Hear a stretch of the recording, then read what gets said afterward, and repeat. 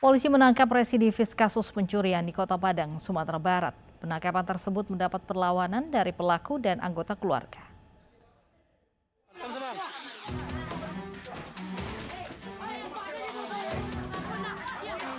Aksi dobrak pintu dilakukan anggota Polsek Lubek di sebuah rumah di Banjaran, Lubuk Begalung, Kota Padang.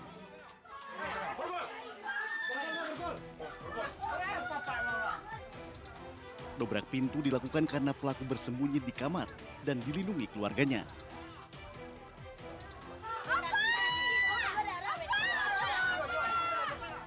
Penangkapan terhadap Marvel dilakukan atas tuduhan kasus pencurian telepon genggam milik anggota polisi di daerah Koto Baru, Kecamatan Lubak dengan membobol pintu rumah korban.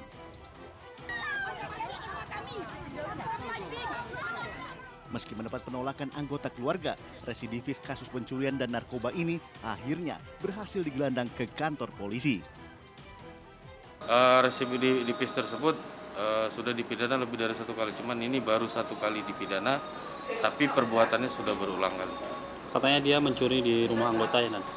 Ya benar, e, yang bersangkutan kebetulan e, eh, TKP saat ini adalah rumah orang tua dari anggota.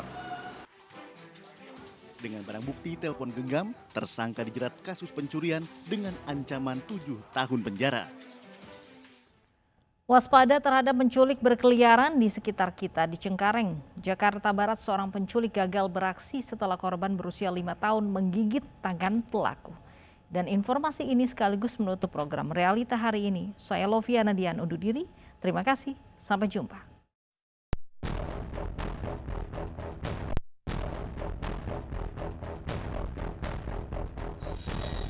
Inilah detik-detik saat bocah lelaki yang berjalan keluar rumah seorang diri untuk pergi jajan ke sebuah warung di wilayah Cengkareng, Jakarta Barat. Di tengah perjalanannya, anak yang berusia lima tahun ini tiba-tiba dihampiri oleh seorang perempuan berhijab tak dikenal. Perempuan ini kemudian berusaha menculik bocah namun gagal.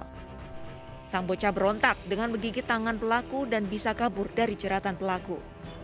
Ayah korban yang baru pulang bekerja sebagai ojek daring terkejut Buah hatinya berada di depan sebuah sekolah yang tak jauh dari rumahnya dengan kondisi ketakutan.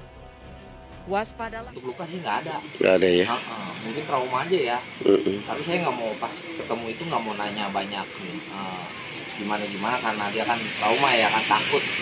Ya Waspadalah karena pelaku hingga kini belum berhasil diamankan. Bagi orang tua agar lebih berhati-hati dalam mengawasi anak-anaknya saat keluar rumah.